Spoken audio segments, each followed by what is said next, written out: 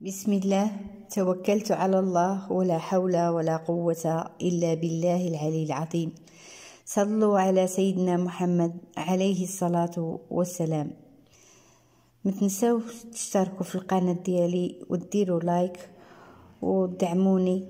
ولا عجبتكم القصة شاركوها مع ناس أخرين باش تعم الفائدة. نحكي لكم القصة ديال اليوم. كتحكي واحد السيدة مات ليها الراجل ديالها وخلى ليها بنت. كتقول مات راجلي وخلى عندي بنت.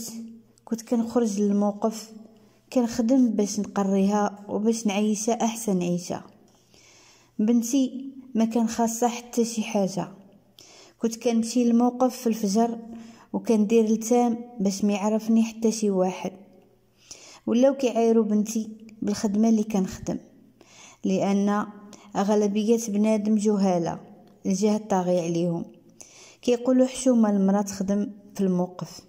والله أخوتي كنجي للدار يدي مفلحين الموقف كتخدم فيه غير لالا ومولاتي بقيت خدامة ودايرة التام على وجهي.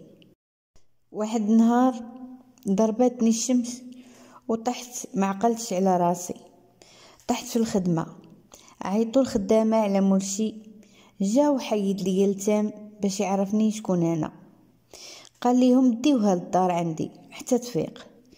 ملي فقت لقيت راسي ناعسة فراش من حرير. سحبت راسي غير كنحلم. وهي تقول لي صاحبتي كانت باركة حدايا على سلامتك فقتي سحبتك غير متي. جا مولشي وأنا رجع التام على وجهي. هو يقول لي تبارك الله ما شاء الله.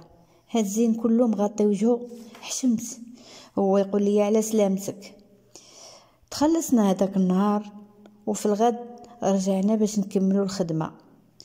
هو يعيط عليا مولشي مشيت لعندو وهو يقول لي توفات ليا المرأة وعمرني فكرت نعاود نتزوج.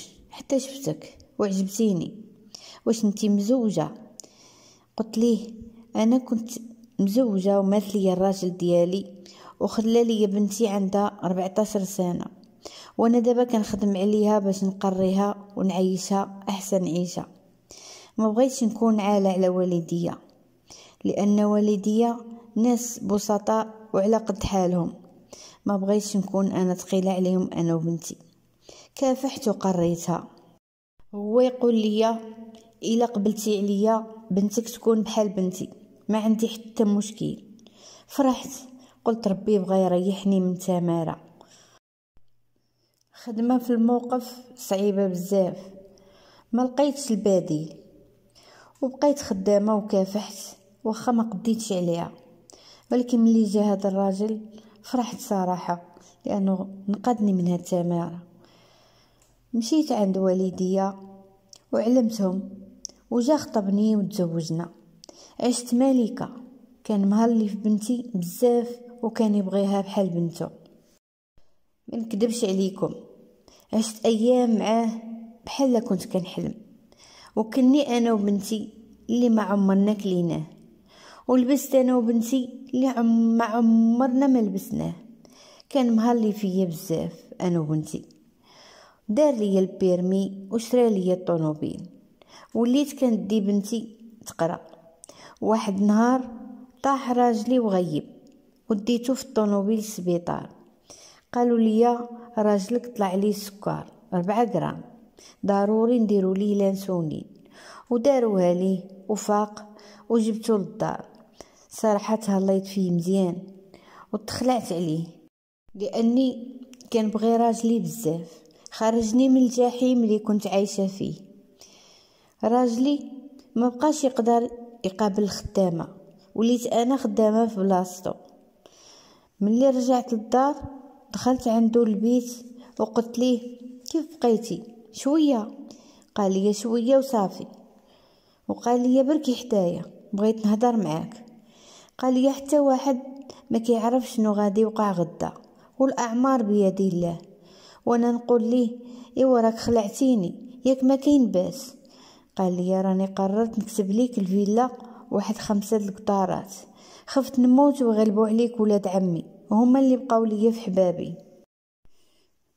عطاني وراق سنيت عليهم كاتب فيهم الفيلا وخمسة القطارات. وأنا نقول ليه الله يطول في عمرك راجلي العزيز ويخليك تاج فوق راسي. قال لي لا بد من هذاك النهار. وليت فين ما كنخرج من الدار كيبقى بالي مشغول عليه. داز عام وأنا نولد معاه وليد. واحد نهار عيطات ليا جارتنا قالت لي أمك مريضة زاد عليها الحال. قلت راجلي قال لي سيري عندها. بنتي كان عندها الامتحان بقات في الدار. ولدي كان مازال باقي صغير كيرضع ديتو معايا. شفت الوالدة وملي رجعت للدار ما لقيتش بنتي. سولت راجلي قال لي بنات اليوم ما فيهم ثقة يمكن تكون هربات مع شي واحد. قلت ليه ما يمكنش هذيك بنتي وأنا مربياها ما كتخبي عليا والو. مشيت ديكلاريت عند الجدارميه وبقاو كيبحثوا بقيت كنبكي على بنتي. كانت بنتي وأختي عشت معاها الحلوة والمرة. صراحة شكيت في راجلي لأنه كانت عزيزة عليه ولكن ملي غبرات ما تأثر ما بانت عليه علامات الحزن. سولت الجيران حتى واحد ما عطاني خبار. مشيت نسول جارتي اللي مقابلة معانا. شافتني جاية وهي تسد عليا الباب. شكيت فيها. ديكلاريت عند الجدارميه بأني شكيت في جارتي. استدعاوها وسولوها لقاوها بحال مخبية شي حاجة. خلعها واحد جدارمي قال لها قولي فين خبيتي البنت ولا غادي نعذبوك حتى تقري. قالت لهم ما تضربوني ما والو. أنا ما درت والو. ولكن كنت باركة في داري سمعت البنت كتغوت. مشيت لدارهم طليت من السجن بالي باباها كيضرب فيها. شافني خرج عندي عطاني ألف درهم وقال لي ما شفتيني ما شفتك. إلا سمعتني مراتي كنضرب بنتها غادا تمشي عليا وأنا كنبغي مراتي وبنتي بزاف. البنت مبغاش تقرا راني ضربتها. استدعاو راجلي وقال لي قول فين درتي البنت؟ بلا ما نعذبوك. قال ليهم الشيطان لعب على عقلي والزين ديال بنت مرتي غراني. اغتصبتها ودفنتها في الجردة. بنتي حدايا ميتة وأنا كنت كنقلب عليها. ما قدرتش نبقى في الفيلا اللي دفنات فيها بنتي. بعتها وبعت خمسة القطارات وشريت دار في أكادير وبعدت على البلاد وعشت مع ولدي وحلفت ما نعاود نتزوج.